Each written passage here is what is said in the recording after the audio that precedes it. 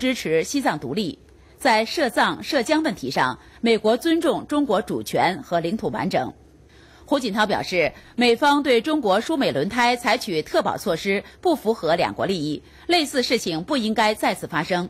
在当前经济金融形势下，中美双方更应该坚定反对贸易和投资保护主义。中方愿同美方一道，继续拓展经贸领域互利合作。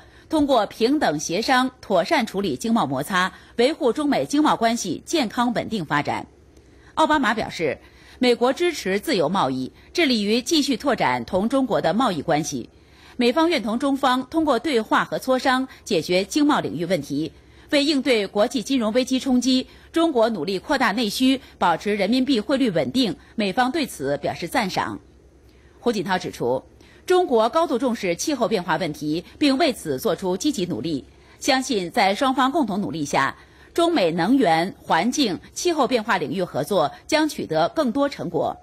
奥巴马表示，希望加强两国气候变化，特别是清洁能源领域合作，把它作为两国关系的一个重要支柱，共同为哥本哈根大会取得成功做出努力。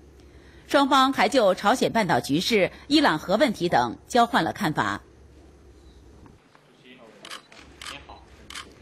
国家主席胡锦涛当地时间二十二号下午在纽约会见南非总统祖马。胡锦涛再次祝贺祖马就任南非总统。他指出，一九九八年建交以来，两国关系全面快速发展，中南已成为重要战略合作伙伴。胡锦涛强调，中南都是重要的发展中国家，在新形势下，中方愿继续同南非携手努力，密切高层交往，扩大经贸合作。丰富人文交流，加强多边领域合作，不断深化中南战略伙伴关系，实现两国共同发展。中方欢迎南非参加上海世博会，祝愿明年在南非举行的世界杯足球赛取得圆满成功。胡锦涛表示，中国一贯重视非洲，加强同非洲国家的团结合作，始终是中国对外政策的重要基石。在当前国际金融危机影响深刻的背景下。中国致力于发展中非友好合作的信心和决心没有改变，我们也不会因国际金融危机而减少对非援助。胡锦涛指出，即将举行的二十国集团领导人第三次金融峰会是国际社会合作应对国际金融危机的一次重要会议，中方愿同南非加强协调、凝聚共识，推动这次峰会取得更多务实成果。关于应对气候变化，胡锦涛表示。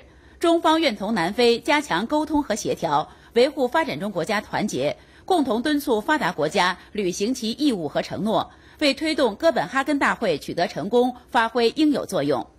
祖马完全赞同胡锦涛关于发展双边关系的意见，表示南非愿进一步发展对华。